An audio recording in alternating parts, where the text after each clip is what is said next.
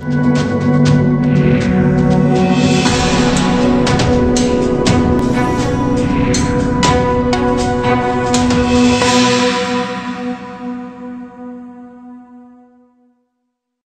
China की एक blogger का उस समय काफ़ी ज़्यादा बुरा हाल हो गया, जब उसके भोजन ने उसी पर हमला कर दिया और चेहरे को नोचना शुरू कर दिया।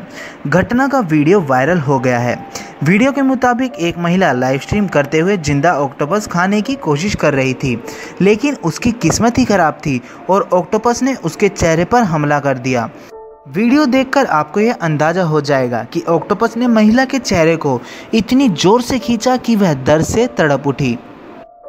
खबर के मुताबिक महिला अपने चेहरे से ऑक्टोपस को हटाने की कोशिश करते हुए दर्द से चीख रही थी।